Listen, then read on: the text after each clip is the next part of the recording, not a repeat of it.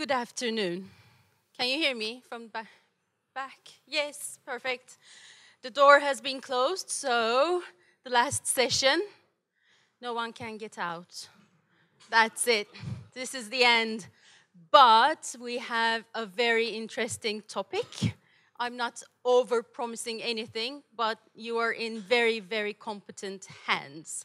And it's about it's not about tin can and XAPI, un, unlike what it says on the program. So, are you ready to be a part of demystification of tin can and XAPI?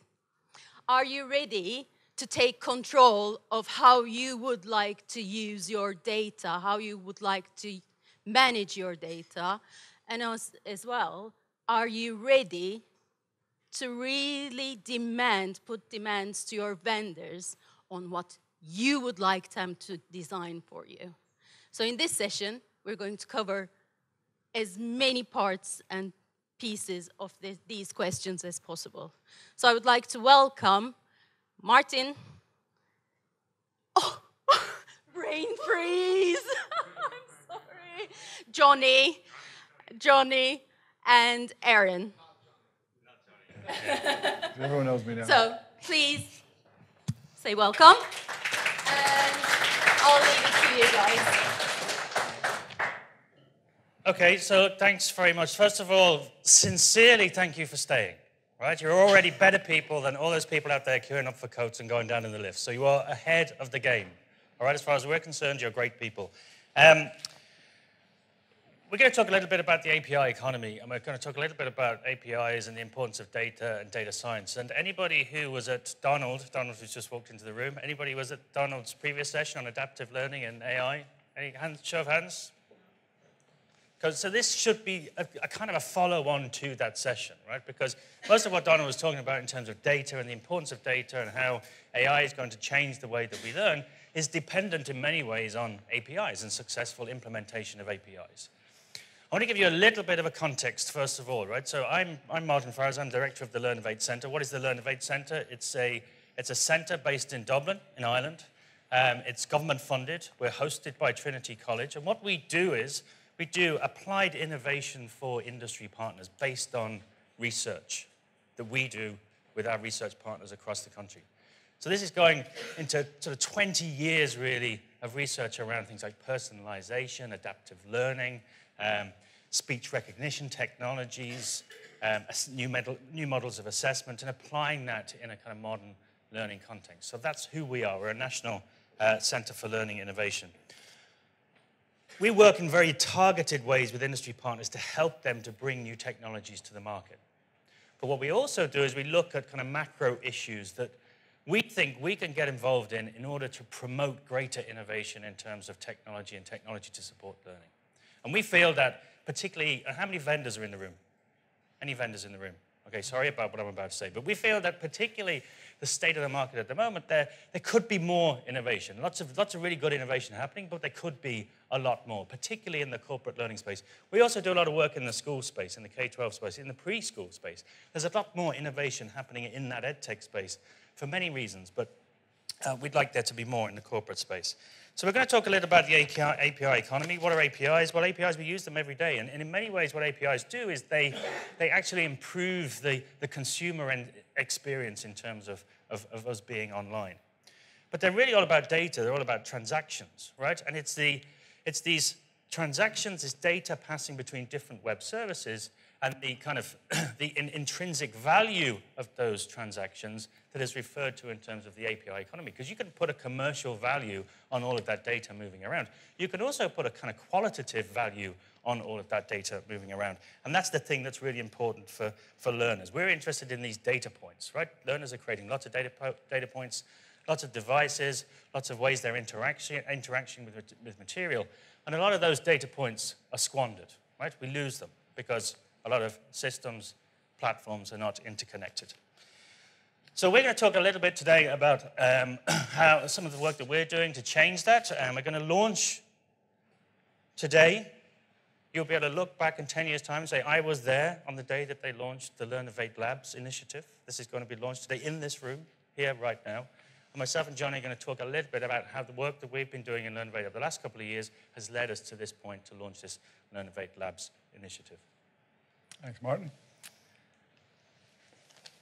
Okay, so as Martyn says, we're here at the last session, and the clicker which worked a few minutes ago is uh, actually there's a network screen has come up here on the mic. There we go. So, as it's the last session, and although we need to do some PowerPoint slides, we decided what we would do is do a bit of a role play for you guys. Um, that also helps because we're going to play uh, two imaginary characters. So I'm going to be Tim the technologist. So you all have me in your organization. I'm going to come up with all these wonderful, innovative technology ideas. And Larry, the learning manager, is we're going to have a little struggle, as, as is probably something that you guys are all familiar with. Took us a long time to come up with those names. Yeah, yeah. A long time. you got to go with personas, right? Everyone wants to have personas. So the other key thing about working in these roles is we're not speaking as Martyn or Johnny. So that means we can say what we like about the industry and uh, the vendors and everything, the challenges that we have within the industry. But it's an industry that we've been part of for 15, 20 years, both of us. So we, we know the challenges of trying to come up with a new technology that we all believe is going to have a profound change in learning and that we never quite deliver on all those things. So um, we're not saying that everything is going to be easy. We're just saying we think there's things happening now which can potentially transform the way you all deliver learning, but most importantly, the way the individuals learn. So, um, so what we're going to do is, I said, I'm going to be uh, over here as Tim the technologist. And I take an inside out approach, right? So I'm all about the great technology that we have in our labs or in our, in our team, uh, in our, in our, where the, as Steve Jobs says, like, you know, you guys don't know what you want until we show it to you we're going to come up with these absolutely fantastic, innovative technologies. And what Larry's going to be saying is, hang on a second, I don't really care about the technology. All I care about is my learners. And, and if you're going to give me some technology that you think is great, it only really works for me if it's going to provide value to our people and it's going to enable them to do their jobs better than our competitors. And that's really what we need to do to be able to deliver different experiences and different performance for our business. So I'm sure, again, you guys can recognize that challenge between the inside out approach and the outside in approach. And we're just going to roll with that um, for the role play today. So here we go. So now I'm, I'm no longer Johnny, I'm now Tim. I remember that. Hey, Larry. I got some really, really cool technologies. Your, your learners are going to love it. You say this every time, right? You bring out these new technologies, they never work, they never integrate with the LMS.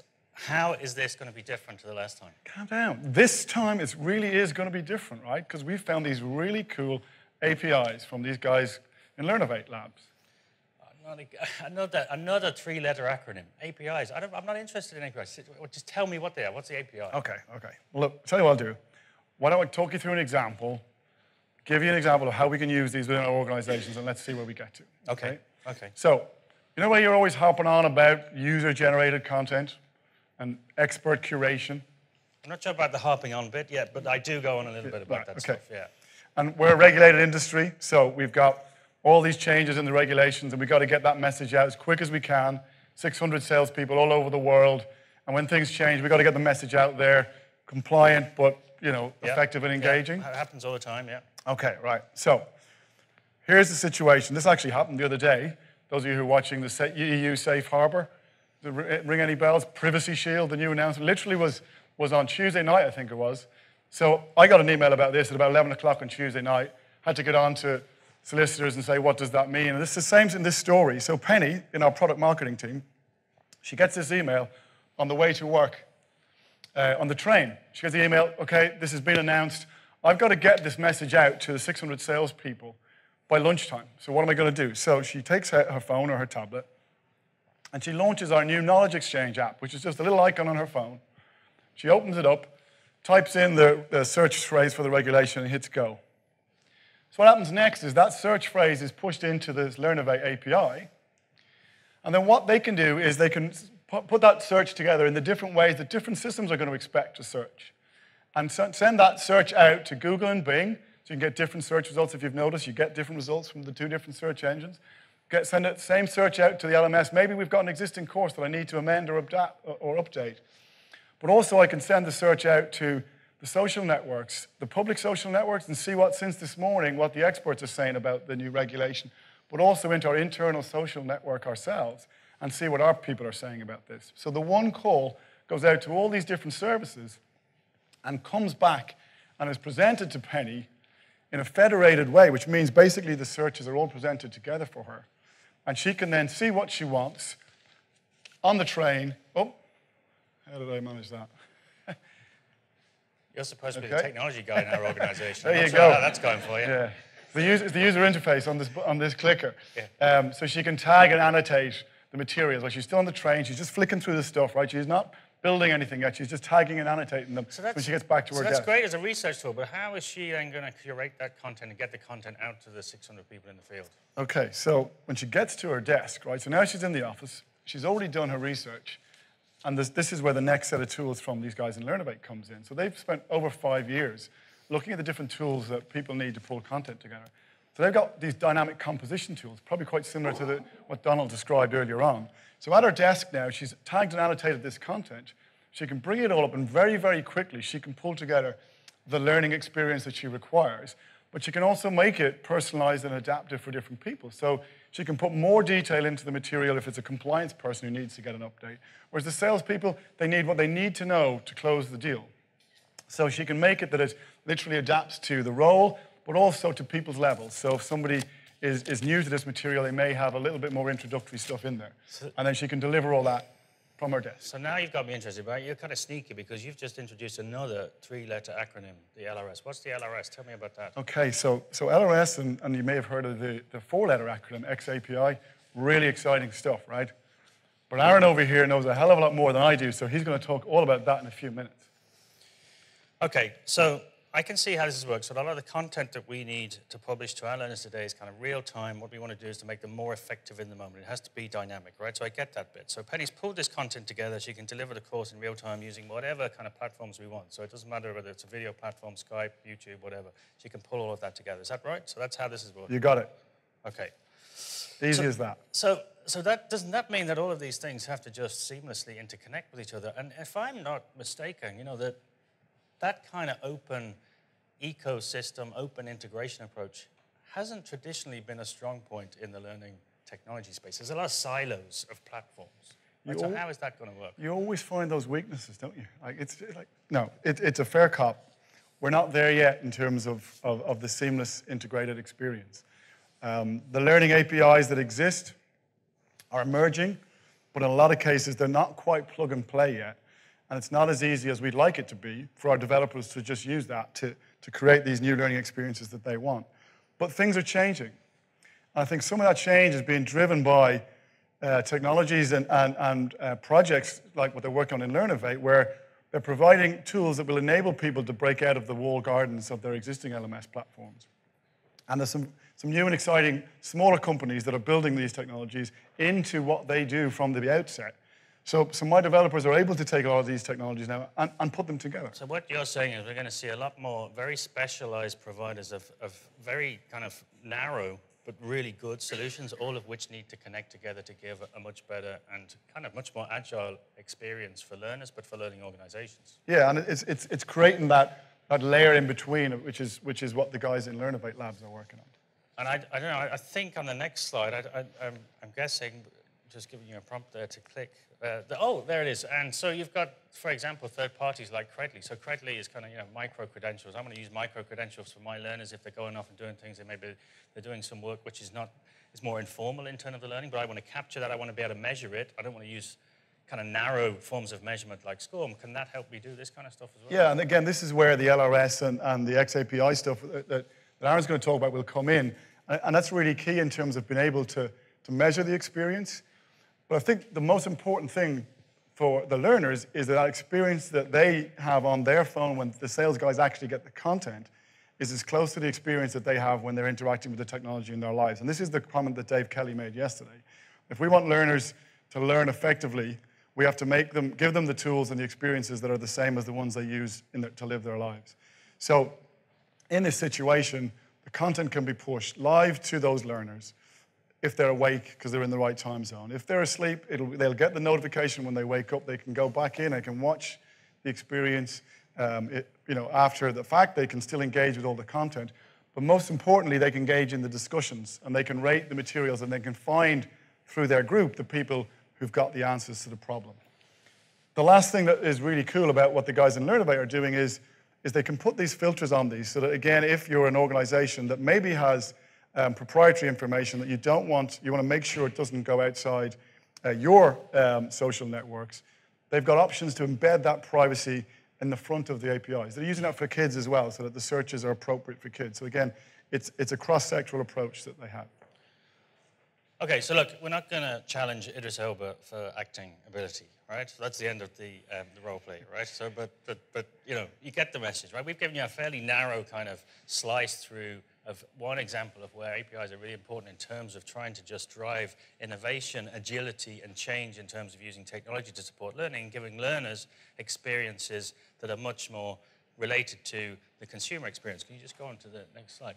So uh, one of the kind of recurring messages that's come through through a lot of the, the, presentations that I've been at anyway over the last couple of days is this whole notion of data science, right? And that we actually need to embrace data science as learning professionals not just as organizations, but as individuals as well, and actually take ownership of the data that we want to have about our learners and about our learning organizations. Because we should be deciding, well, what is the data model that I want for my organization to be able to map my kind of learning analytics against my organizational analytics, my learning competencies against my organizational competencies. For all of that to happen, we have to have this system of, or, or almost an open ecosystem of APIs. And what what we have found in the work that we've been doing over the last couple of, of years in Learnovate is that there are three key factors that really need to be in place to make that open ecosystem work more effectively. The first one is data mobility, right? Data mobility, XAPI has a huge role to play in terms of data mobility. And anybody who thinks that XAPI is just an extension of SCORM, forget that. It's like comparing a horse with a Ferrari, right? It might get you to more or less the same um, ambition, but it's doing it in a very, very, very different way, right? The second point is privacy by design, right? Data protection, data privacy is huge with learners and learner data. By definition, data about learners is personal, and therefore you have to take into account data privacy, data protection.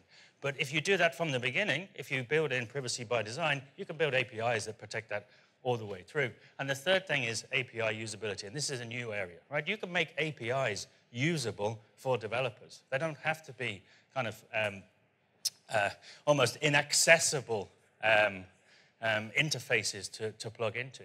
And we've been doing some really interesting work about how, for example, you use color coding and APIs in order to make, to, in order to make an API itself, the coding itself, more usable for developers. If you don't make them usable, developers won't take, take up your API and you will not get throughput of data. Right, so these are three really important factors that you need in order to make this kind of innovative open API ecosystem work. And once you can then plug in that kind of blue circle, or is it blue or purple?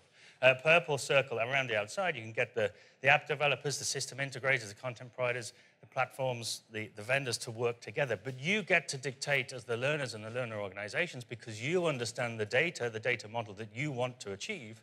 You can get them to work according to your agenda because you want this system of open APIs. So that's how it works. We've set up um, a, an initiative called Learnovate Labs. Um, you can go to the website, there isn't a whole lot there, but there is a form where you can sign up to find out more information about how we're going to push this initiative forward over the next six to 12 months. We are not a commercial organization. We're not selling anything. What we're trying to do is to put in place an ecosystem, or at least the, the pieces of the ecosystem that are going to make this open API model work more effectively and drive us towards the kind of vision that Donald was talking about in the previous session. So we're going to hand over now to Aaron, who's going to talk in detail about XAPI, and then I think we're going to have some questions at the end of that. Yes. So thank you for listening. Thank you still for being here and for not leaving, um, even though we destroyed the, the acting ability. But all right, um, can everybody hear me? I can shout louder if you'd like, because I'm American and that's what we do. There you go. See, laughter, that works. So, um, I have a ton of slides to tell you, and I'm going to be really, no, I'm not going to be very technical with you, but I, but I'm going to breeze through a bunch of information very quickly. These slides will be available so that you can soak them in more. Um, uh, otherwise, I'll begin. So, what exactly is XAPI? Um, so I can make the most time available for questions, uh, and then I'm not, that's a rhetorical question. Um, the Experience API is a standard way of talking about our experiences using data. Um, it is, you know, Experience API or XAPI as it's shortened to, is globally recognized official industry name of what was once called tin can. So when you hear the words tin can, if that's how you came in here thinking, you know, understanding what that is, XAPI and tin can are two names for the exact same thing. The common de facto name is XAPI. Um, now, what Martyn and Johnny, I knew it was Johnny, see, I was joking. All right. Um, what Martyn and Johnny were talking about in terms of APIs, in that context, they're using them. They're using these APIs, these publicly accessible APIs, for content authoring and curation. Okay. What XAPI, how XAPI fits in the greater context then, is for capturing the learner journey through content and the integration of enterprise systems. I mean, they could be educational systems too. My point being that they are, it is for systems integration and capturing the learning journey. You can use it for a whole bunch of other things too, but that's really where its strong suit is. This is essentially the model that uh, of for XAPI. You have social, you have performance support, you have assessments, content, you have stuff. And that stuff is sending data in the format of an actor, a verb, an object, a context, or a result if, if necessary, to a learning record store. And that learning record store it describes a function. It is not necessarily a product, a standalone product in the enterprise. It could fit inside your, it might be part of your LMS. It might be part of your enterprise resource planning tool. It might be part of your performance support system. It, is, it describes a set of functionality. It's like a database with an API you know, endpoint so that you can push data to it and pull data from it. Right? And that data then can be transferred to other learning record stores or other systems. And that can be used to power predictive algorithms, analytics, feedback loops. Uh, it enables your data, data ownership finally and personalization. So I like to think about this context. Marketing uses data about audience behavior to, to reach more people, and product if any of you worked in a product company, right? They analyze data about the target consumer activity. UX people analyze data about the product usage. Management analyzes business results to understand the company and the market performance, all right? External. Who looks at the data for how the organization runs? That's you. That's L&D, all right? And that's what XAPI enables us to finally do. All right, it, it wasn't that you couldn't do this before, but now there's a common way to approach it. All right, so it answers a lot of how type questions. How can I inform better business decisions? How do I avoid locking us into solutions? You know, you know how many people are on the same LMS they bought 10 years ago because it's you can't undo the contract, or because you have so many integrations that have been customized to the rest of your enterprise that the cost of moving on or transitioning to something is difficult. We try to do this so that things can be much more plug and play and modular. How can I make investments in learning development that last longer than are and are more future proof? And how can I make sure that what I evaluate today is still useful in the future in terms of your data longevity?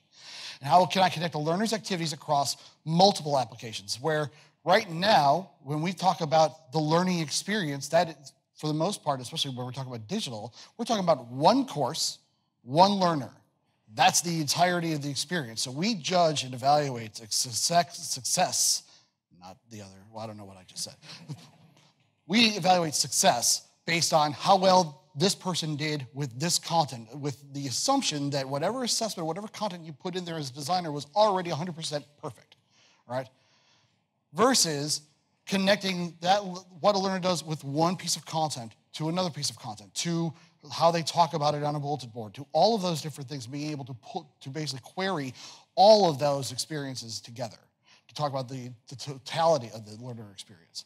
So think about the transition of L&D from a content-driven department into a data-driven service. All right, that conversation then shifts from which content should we deliver to our employees to something like what do our people actually need to do and how can or how can we help them at or before the time of need so what i'm really talking about here is going from beyond learning as a content driven experience to performance support proficiency personalization, performance analytics, talking about one person's performance analytics on the job, scale, how that scales across different uh, devices, time, predictive analytics in terms of like where are they going next what are the trends in terms of like how people are performing and where how can we start doing early interventions and ultimately in mass workforce analytics how do uh, how does our company how do teams actually operate?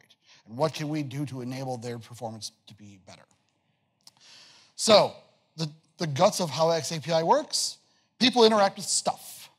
Business systems content etc apps. And these interactions are observed and described in JSON, and that stuff sends those statements to a learning record store. Again, learning record store and LRS is a database, right? It is software, it can be hardware, it's just a part of data, data appliances. It's not necessarily an, its own product category. It can be, but from the spec side, as we designed and architected this thing, it really describes just a piece of the puzzle, right? So while you can't read that ludicrously dark text all over the place. There's a number of different functions that an LMS does. The LRS only deals with one thing that your LMS currently does, which is learning records, okay? It's one little subset. So these activity statements are what I would like to talk about as observations. So an actor, verb, object, you've probably heard that whenever somebody talks about XAPI, but it's really about like someone did something. But we could pack a lot more information than that into a statement. We could talk about that they did that to someone or with someone as part of a cohort. Or we could talk about what stuff they were doing with it, you know, at the time, like what apps they were using, what is the greater context, and what was the result of that action. All right, all of that information can be packed and more because we can extend these uh, these statements as well. So if you've never seen JSON, that's what it looks like. Very simply, that is a valid statement. You could copy and paste that if you had the slide on you right now. And it would valid, it'd be, it'd be a valid statement, okay? Actor, verb, object, an ID, all right? These things are, for the most part, human readable. They're formatted. It's not very dissimilar from how you've looked at XML probably in the past, all right? And again, that's the actor, verb, object, context result, those lines going to the learning record store and where how that information feeds and powers other things, that's, that's the, literally the nuts and bolts of what we're talking about. So, one question that you're probably interested in is like how ready XAPI really is for enterprise. It's a mixed answer. Let me tell, talk first about like who's actually doing stuff. So Thomson Reuters is using XAPI as a training overlay. They're building performance support systems that are in line with the actual work products. They, in this case study, case study, not use case, this is actual implementation. Their Westlaw product is like used by like hundreds of thousands of lawyers around, or you know, lawyers around the world, or people learning to be lawyers. Um, and the system is fairly complex web-based software. And so they now have performance support built in line, which is a layer on top of the actual application. There are business process, processes that are associated with that application. The, the, the cues of what people, when people might need help are dynamically generated based on what those business processes are. And, it, and there is, it, basically, it just provides content at the point of need in the application itself. And all of this is being tracked through XAPI, empowered by the data in XAPI.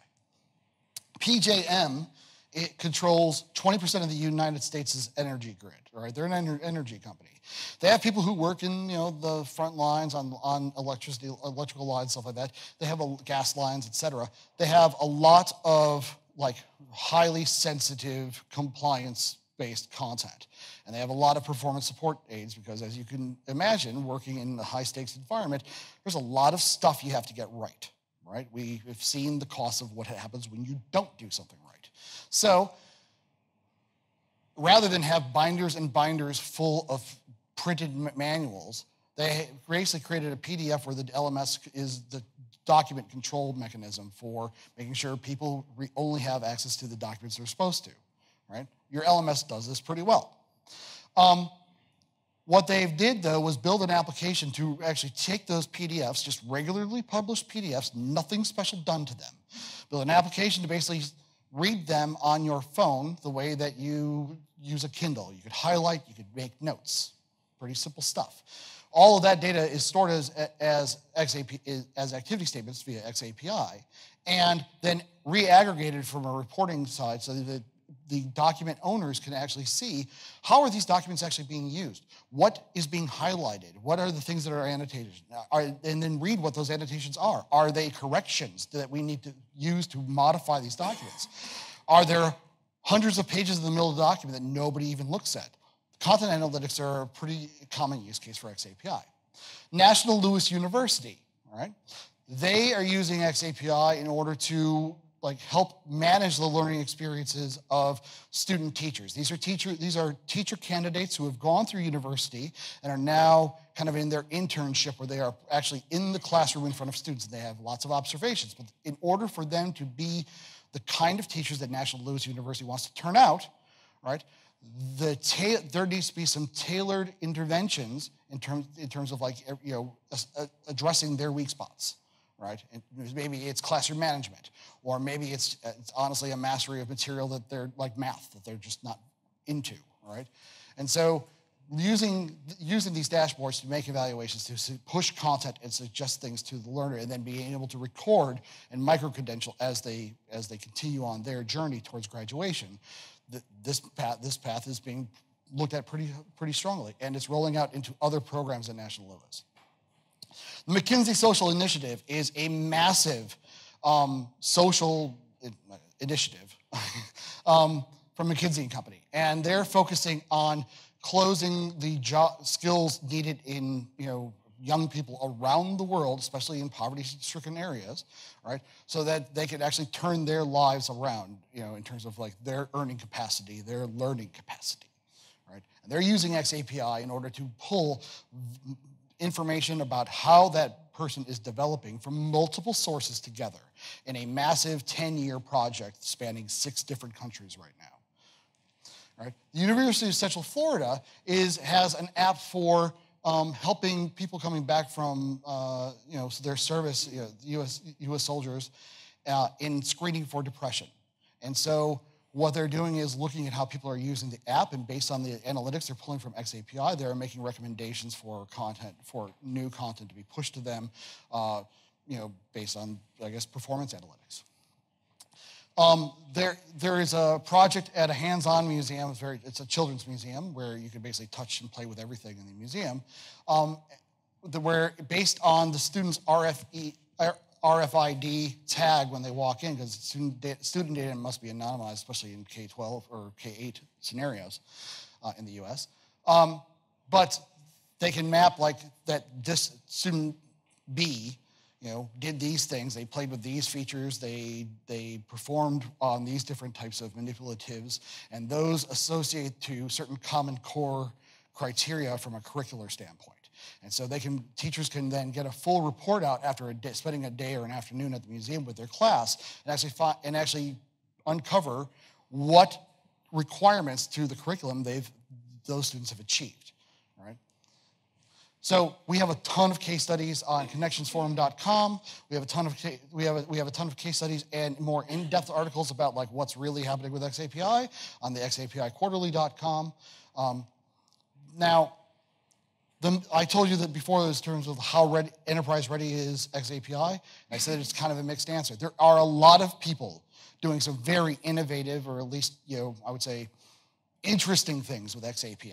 Certainly more interesting than just, you know, publishing content and putting it into an LMS. Um, but there are some significant challenges that need to be addressed. Um, there's basically two big ones, uh, and you probably wouldn't be aware of them unless somebody just told you, like I'm about to tell you. Um, one is the dealing with vocabulary sets. If you're going to create, uh, generate all of this data, you're eventually going to want to use it to, for something. It might be reports, it might be to feed into predictive analytics, it might be to, you know, aggregate into looking at the entire uh, cohort versus just one, one employee or a student. Um, at any rate, when you start having to deal with multiple sources, right, that are developed independently, much the same way whereas you, you may work in a company that buys its content from several different content providers, and it never quite looks the same, no matter how, what your branding guidelines are. Um, this is, we have a challenge where, like, we could describe how one watches video in three different, three or four different ways that are, are all official and are all maybe considered canon or standard or de facto standards, um, but they're not actually the same vocabulary sets. They're not actually the same identical profiles. And therefore, you have to understand how to actually marry these things together when you want to actually look at what, it, what how many people watched videos, for example, or not just head counting, but how those videos relate to other larger activity sets. Right? So um, one, what is happening is, you know, this is XAPI is a specification. It's not a standard yet, right?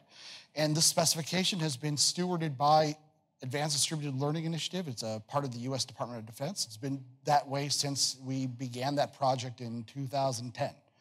Um, but it is now so big with so much momentum that it is impossible for the DoD, the U.S. DoD, to shoulder the burden of maintaining this on its own. So they've, they, as well as vendors, as well as you know larger organizations who are now putting in incredible stakes and investments in doing XAPI, have asked a few people to actually put together a consortium that will focus on its evolution and standardiz- and eventually its standardization. So that's what the, that's what the Data Interoperability Standards Consortium does. Okay. Um, when I talked about how this is a specification, not a standard, right? We're not racing for standardization because there's still things that are probably going to change. Uh, so, example, how many people here have heard of Internet of Things? Everybody. Awesome. How powerful do you think each little tiny little processor is? Not very, right? So we can't shoot tons and tons of loaded data about whatever is going on out of each of these systems without basically just jamming up the pipes. So there needs to be similar ways of describing the data in terms of what the data model is, actor, verb, object, et cetera, but it needs actually a different means to move that data around. Where JSON works really well for web-based systems, right, as web services, there are things such as low energy Bluetooth, which you know you think about Bluetooth as like some kind of format for connecting your, your devices together. It also has like a communications mechanism, obviously, and be able the ability to pass information through that is something that has not been defined by the XAPI community, but it needs to be if we want to start pulling in data from Internet of Things. How many people work in old with old legacy systems in their in their organizations that maybe are all dependent on uh, XML? You wouldn't even know. So that's cool. But a couple of small hands up there. That's cool. Um, chance, guess what? XAPI doesn't work with XML all right, because it was written with a modern infrastructure in mind. But in order to retrofit systems, there's probably going to be some interest in making that happen. And so we know that things about XAPI are prone to change. There are, there are every nation has slightly different security and privacy guidelines, and they have to be accounted for and catered to. And so figuring out where all those things lie gives us to evolution of the spec and eventually then to standardization. Once we have, once we get to a point where we have to, we can stop making so many changes that break things, then we can actually start standardizing the spec and go through IEEE and ISO and a whole bunch of other acronym names. Um, and I'm sorry for if I'm going on too long. Anyway, what we're going to address this year, vocabulary, profiles, the partnerships with different organizations, JISC being one of them. JISC is your educational technology kind of recommendations group within the US, UK government. Um, so, software certification, stewardship. Um, I'm not going to go into all this stuff because it's not really important. Anyway, I, am I'm the fat guy, second from the right, um, and we have a we have a board of directors that come some from the learning analytics field and mostly from business and other other for, other places other than learning because the stakeholders for what we're talking about with XAPI are far bigger than learning. We may be starting here, but we're really talking about pulling, finding out how we empower people from their, from the evolution from them as students to them as contributors to, the, to economies and, and contributors to democracies. So our year one deliverables for DISC are going to be certification, requirements, licensing, et cetera. Um, if you want to find out more information on that, it's at datainteroperability.org. And thank you.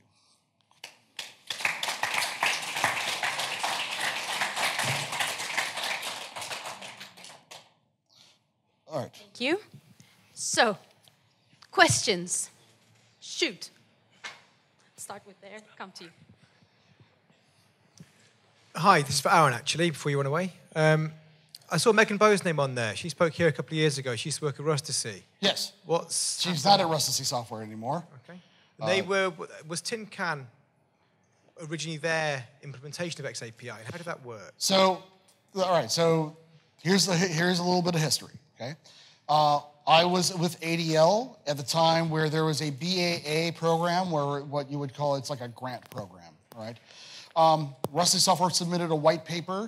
We put out requirements of like things we were kind of looking for. They put in a white paper that suggested uh, a model that we could approach that looked very similar to what we were thinking internally. They were selected uh, out of the candidates that, uh, that were that applied for that BAA program. Um, and so they, they first did a bunch of user research, and then they did a prototype based on activity streams as a, spec, as a specification. We went to activity streams collectively and said, hey, we like to, we love activity streams as a spec, but there's some things you're not doing, and we'd like to, we'd like to expand it. Would you be willing to do so? Because that's what it says in their, in their little bylaws, that we'll accommodate a, a user community. They didn't accommodate. And so we ended up having to roll our own, which is fine because ironically now Activity Streams basically copied us. Now they're doing all the same things too. Um, that's how standards work. Um, so at any rate, uh, Tin Can, Project Tin Can was their implementation, right? But the spec itself, the source is all owned by ADL and it's licensed as Apache 2. So anybody, anybody can take, take XAPI as is and create a derivative work if they wanted to. That help? Okay. I may have been asked that question before. Hi, um, so I'm Christian Vanberg. I do HR tech. Um, I've dealt a lot with uh, CV portability, CV data portability. I'm sorry? Uh, I've dealt a lot with CV portability. CV portability, Yeah, awesome. so for example, in European Union, you have the portable CV standard. Uh, Interesting. not very big success story. I want to know all. Of. I want to know all about it. But Yeah, no, it's, it's, right it's brilliant. it's very interesting. Uh, and one word I didn't see once was uh, portability. Yeah. Uh, I believe that if I have a job, I Mm-hmm. learn, like, one, one thing is a line in my CV. What we're talking about in the future is I'll have, you know, maybe 100,000 data points about what I did in a job. Yes. Now, that's my data, the way I see it. Yeah. How do I take that with me? And I just think there's a technical side to it, there's a legal side to it, there's an Yeah. IP side to it, there's a trade, trade secret side to it. Yeah, Uh, it- is anyone on that ball yet? Yeah. So Dr. Kirsty Kitto uh, is with Queensland University. She's very much into the data pathways approach. We brought her on the board because Megan and I, um, we really feel very strongly about data ownership at the individual level. You cannot have agency and uh, and accountability in a di- in, in a digital democracy without being able to own and control your own data. But how that actually manifests from organizations with their IP policies, et cetera, um, how that manifests the, the, the struggle between I did these things as a human, and therefore this data is all about me and it's mine, versus I as an organization created, or as a vendor or whatever, created the means to even generate this data that you voluntarily participated in that data belongs to me. And so that's that is a real struggle that we are going to have. It's going to be an ongoing conversation. But yes, the reason why we have Kirsty Kitto on the board is to push us to make sure that that actually does happen. The Privacy by Design um, initiative that we have is one of the three core pillars. Like we have dedicated research projects around these issues because it's exactly the same if you take kids in school, in university. So that's why our cross-sectoral approach is important because you start that learning at a very early stage in your in your life, and all those things that you go through, you want to be able to bring those with you. So again, there isn't an answer there, but I would say there's a, there's research projects, and we can do those independent of organizational challenges. Yes. All we can do then is share tho- that research, and then the organizations can take that and try and build from that. Indeed.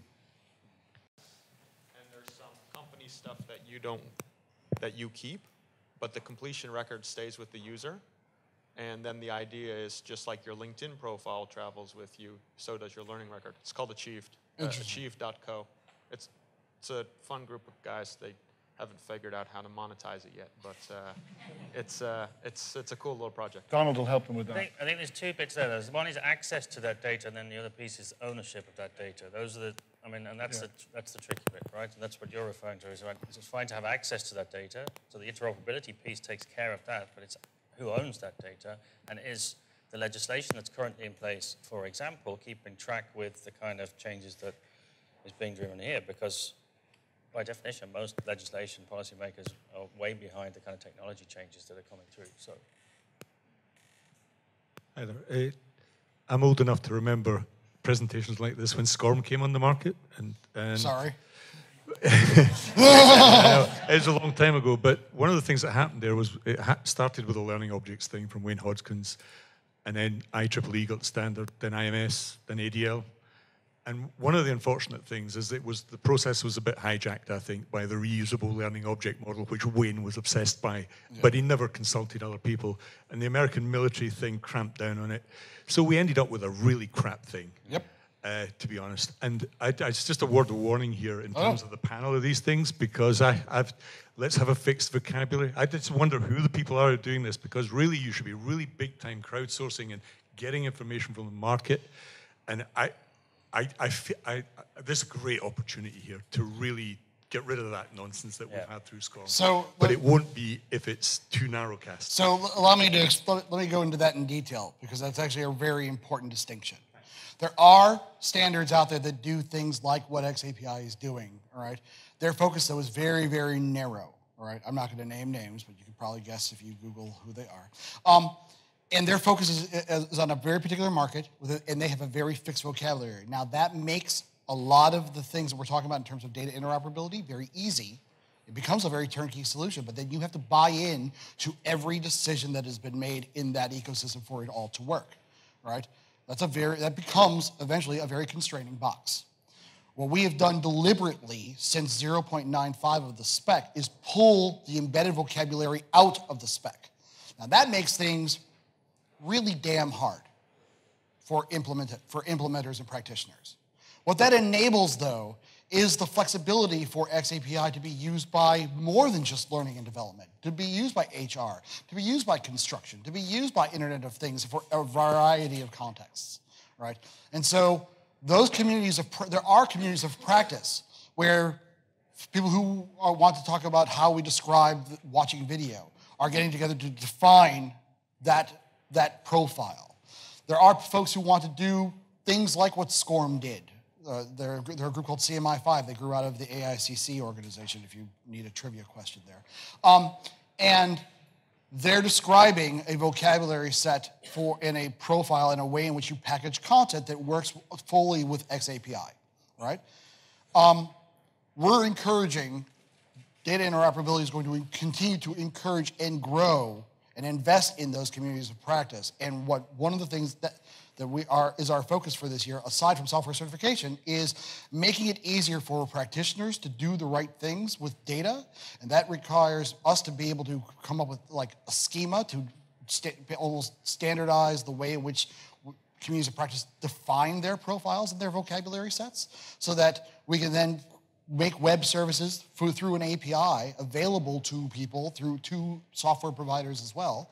Just make it easier for you to find exactly the data that you, the, to create the data that you want to collect. We, had this conversation yesterday over lunch. Like there's a real danger of a desire to standardize, right? So if you like, race to standardize is a race to the bottom because you, you will end up just throwing a blanket over everything, and you will exclude all of the good stuff that could be possible through something like. But there is a dance between standardization Yeah. and complete chaos.